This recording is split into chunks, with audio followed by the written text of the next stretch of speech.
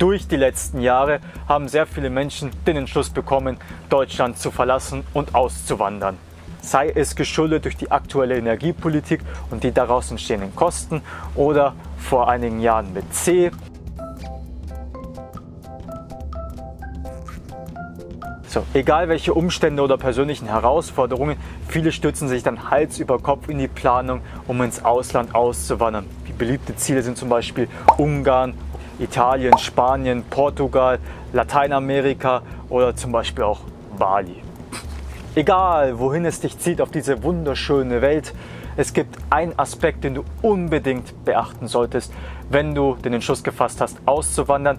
Eigentlich sollte das selbstverständlich sein, Komischerweise sehe ich dann sehr viele Menschen, die dann doch diesen Aspekt ignorieren. Hauptsache, sie können ihre schlechten Lebensbedingungen und Probleme hier in Deutschland irgendwie entgehen. Es geht um das Thema Geld und ja, darüber sollten wir mal sprechen. Wenn du hier schon in Deutschland mit finanziellen Problemen zu kämpfen hast und du jeden Monat irgendwie schauen musst, wie du über die Runden kommst, dann wird das ehrlich gesagt im Ausland nicht viel besser. In den zuvor genannten Ländern suchen da sehr viele Einheimischen natürlich auch nach Arbeit. Das heißt, wenn du dann auch nochmal mit aufkreuzt, hast du eine etwas größere Konkurrenz als hier in Deutschland zum Beispiel und da hast du noch Sprachblockade. Und wenn du zum Beispiel die einheimische Sprache nicht kennst und du machst dort einen Dienstleistungsberuf, wirst du es halt nochmal umso schwerer haben, dort irgendwie Fuß zu fassen. Von daher ist ja auch schon mal hier der erste Punkt wichtig. Du solltest halt wissen, welche Sprachen dort gesprochen werden und es ist immer gut, die einheimische Sprache auch zu kennen.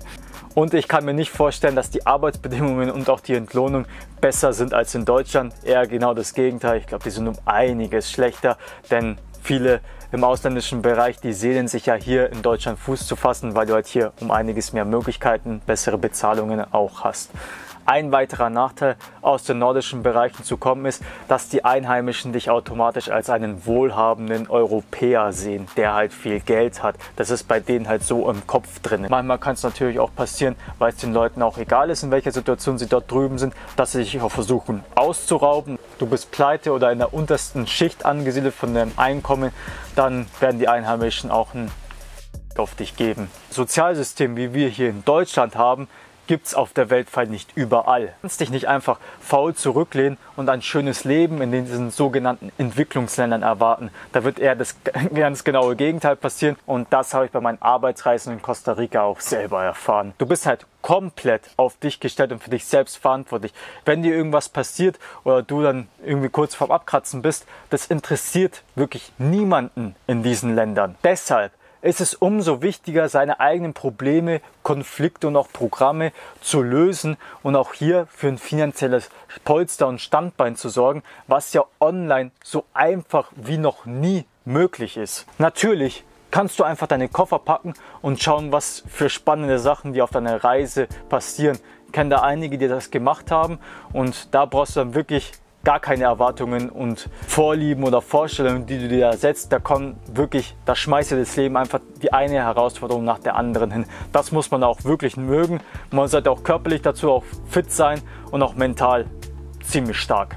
Wir können uns wirklich glücklich schätzen, dass wir hier in Deutschland geboren sind, weil wir hier diese Möglichkeit haben, beispielsweise selbstständig online unser eigenes Unternehmen bzw. Selbstständigkeit aufzubauen und hier online Geld zu verdienen. In anderen Ländern schaut es ganz anders aus, wenn du dann keinen Zugang zur Schule hast, Internet auch nur mager und du halt dann irgendwie körperlich arbeiten musst, um halt irgendwie den letzten Groschen für dich und deine Familie rumzubekommen. Also das ist dann auch wirklich kein schönes Leben, wenn du halt dann mal zum Beispiel in solchen Ländern gehst und mal mit den Einheimischen redest und mal auch mal mit denen lebst. Das habe ich auch schon mal gemacht. Eine sehr spannende Erfahrung. In Costa Rica arbeitete ich eine Zeit lang auf einer Kaffeefarm und da gab es dann genug Erntehelfer, mit ihren kleinen Kindern, 4, 5, 6, und die haben mitgearbeitet und zwar wurde die Farm als Bio bezeichnet, aber das ist hier kein Bio-Standard wie bei uns hier.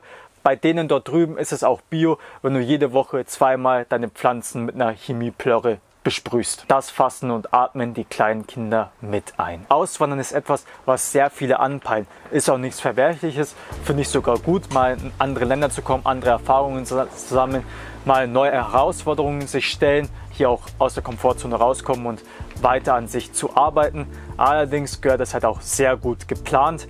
Das sollte aber nicht aus einer Fluchtreaktion, wie gesagt, rauskommen, dass man einfach sagt, ja, mal schauen, was da halt passiert, was auf mich zukommt, weil das kann dann wirklich auch sehr stark nach hinten losgehen. Du wirst unnötig dein Leben schwer machen und viele haben ja sogar noch Familie und Kinder, das heißt noch andere Verantwortungen. Und da kannst du dir mal ausmalen, wenn du mal spontan die Entscheidung triffst, auszuwandern, was da alles passieren kann, beziehungsweise was da los ist.